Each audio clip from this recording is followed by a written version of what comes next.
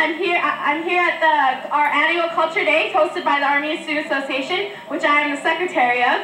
Uh, we're just here having fun. We have food prepared. Uh, we took out Plaza Vaquero. We've been working on this for months, and we are so happy that we finally got this going. Uh, we have a DJ. We have the food. We have all artifacts, and there's there's hundreds of students on campus. Uh, we do this because there's such a such a majority of Armenian students on G the GCC campus, and the Armenian Student Association acknowledges that. And the Culture Day is just another way of celebrating our culture and give and and uh, creating a higher awareness to other cultures on this campus. Thank you.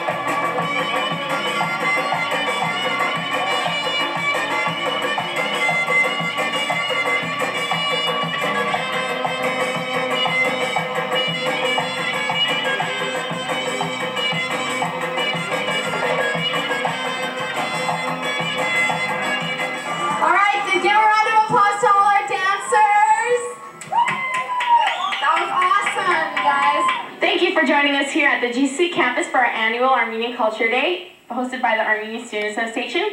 We had lots of fun, food, dancing, and many artifacts to look at. Just a little bit of the culture given out to the students of GCC. We just want to thank everyone for joining us, and as you saw, we had a lot of fun, so thank you so much.